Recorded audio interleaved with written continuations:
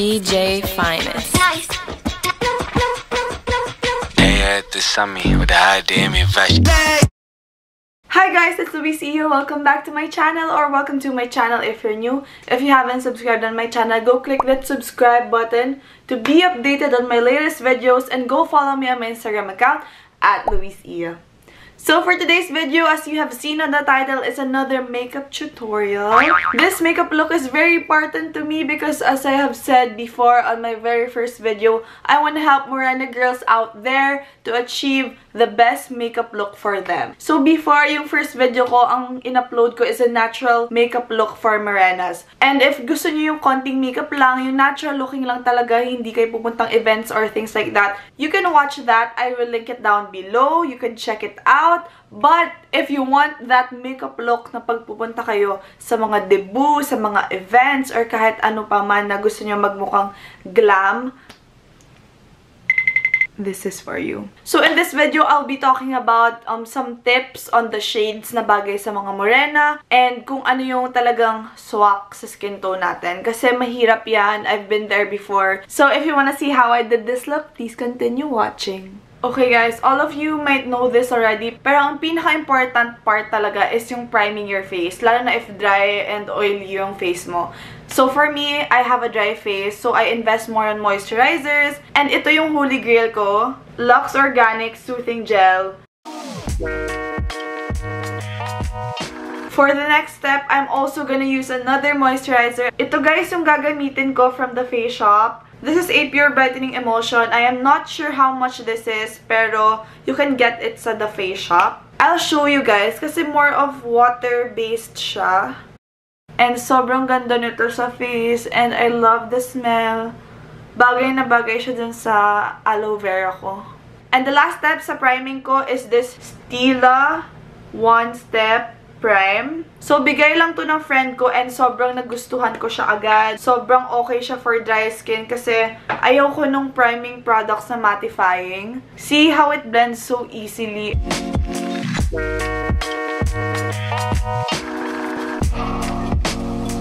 I don't know if kita sa camera kung gaano ka alive na yung face ko, pero from kanina to now, Oh, ready, ready na for makeup. For foundation, guys, I have two products on my hand. Kasi I wanna tell you kung ano yung mag-work for the Morena skin type. So, for me before, nung hindi ko pa alam na acidic ako or na nag-oxidize talaga yung mga makeup, hindi pa ako ganun ka-educated about makeup, I use this 228 Soft Tan, which really works. And ito yung Fit Me Foundation from Maybelline. Sobrang okay nito. Bagay na bagay siya sa skin tone ko. And for sure din, if Mariana kayo like me, ito babagay rin sa inyo.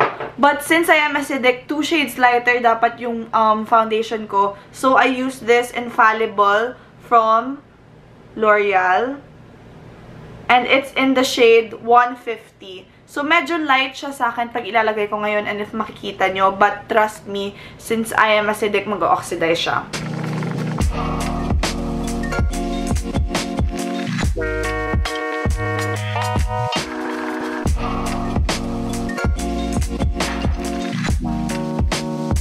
For blending, I'll be using this Diamond um, blender from Real Techniques. Sobrang bilis ito makablend, guys, kasi ganyan siya, flat. So, ganyan lang ako mag-blend, and it really works fast, lalo na pag nagmamadali kayo.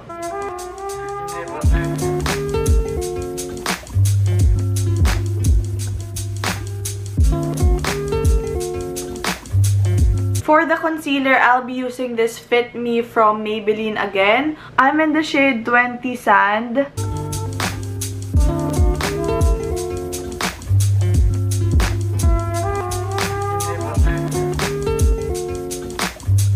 With the same blender, I'll be blending the concealer.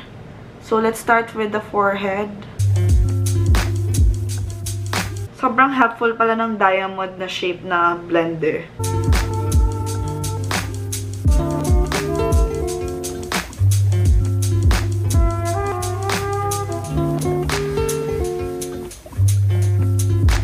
I will set my foundation and concealer with the Laura Mercier Translucent Powder. With the powder brush from Real Techniques. TBH, I really don't like this baking part. Because I have a dry face. Pero sabi ni Jaclyn Hill, importante pa rin daw mag-bake kahit dry yung face mo. So, I'll be blending that later. I'll be heading on with my brows. For the eyebrow pencil, I'll be using this the Face Shop Designing Eyebrow um, Pencil. This has been my holy grail and I'm in the shade number 3. Almost lahat ata ng makeup tutorial ko, ito yung gamit.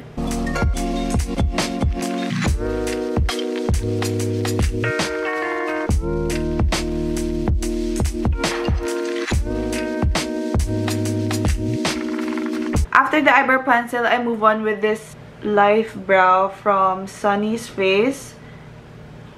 I'm not sure what shade this is, pero ito yung brown shade. Kasi parang meron dun black grayish shade. So, ito yung brown.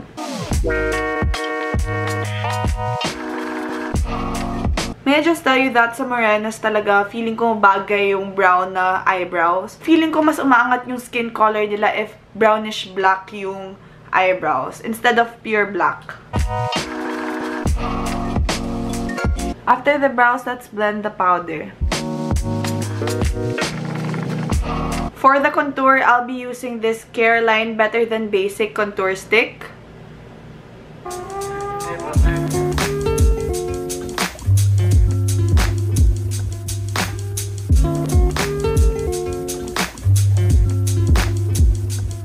Since favorite ko talaga yung bronzer and contour, iset natin yung cream na contour with the Hula from Benefit.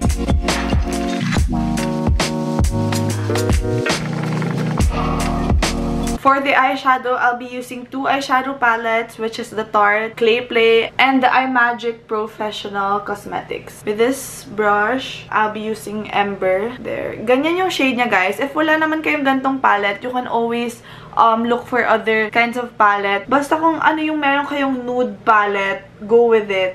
And I'm just focusing on my crease and on the outer part of my eye. And then you use this Profesh Ganyan siya, medyo burgundy shade sa iMagic na palette. And then sa middle ka na mag-focus. Once you're done with Profesh na shade, you move on with the smoked. And mas darker siya kaysa sa Profesh and mas sa reddish side na siya. So guys, for mga morenas, pinaka-okay talaga yung mga nudish, orangish, and kind of darkish red. Pwede rin tayo gumamit ng mga bright eyeliners like yellow and all those kinds. Maganda siya sa skin natin. But for me, I just wanna keep it classic, like yung nudish, um, orangey type na eyeshadow. But I wanna have um, shimmer. So for the shimmer, I'll be using this one, yung pinaka-light.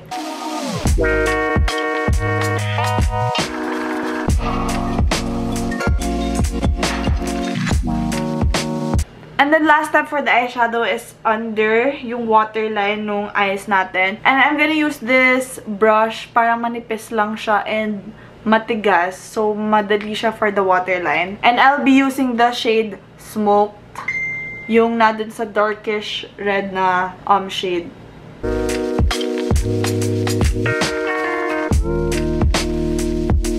See, it really makes a difference. Mas nagpa-pop yung eyes natin kapag meron under.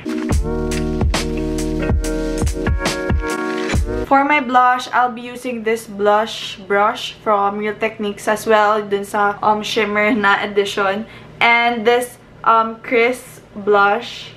And it's on the shade Lasting Love. And as you can tell, yung um, shade nung blush niya is medyo nudish pa rin. Hindi yung pure red or things like that. And don't forget the nose bridge kasi kahit konti lang, it makes a difference. Finally, setting spray and I'll be using this MAC Prep and Prime. Before putting on mascara and highlight, mag-set na muna tayo ng face.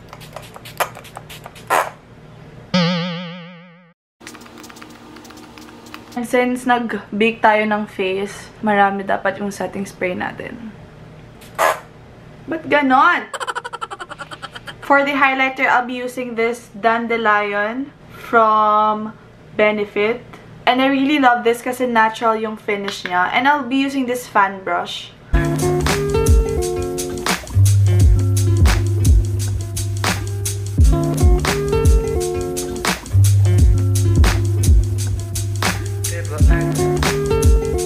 For the mascara, I'll be using this Lash Paradise from L'Oreal. And for a mascara like this na ang thick nung wand, ang hirap maglagay ng mascara. Laging napapalampas or nadikit. So, yung excess dapat talagang alsen. So, I use a tissue for it.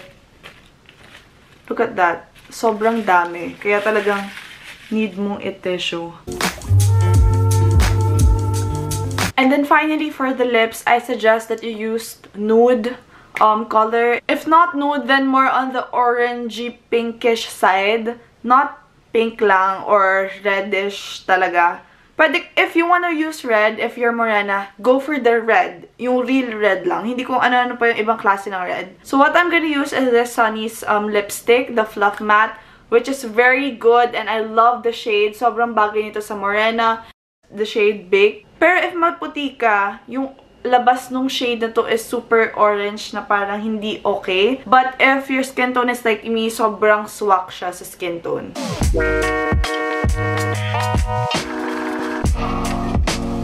Ayan o.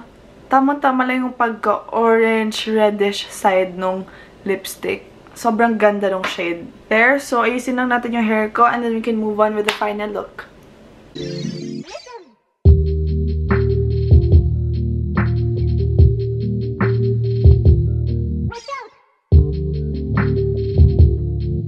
So that's it guys for this video. If you liked it, go click that like button and share the video. See you again on my next video. Bye, love lots!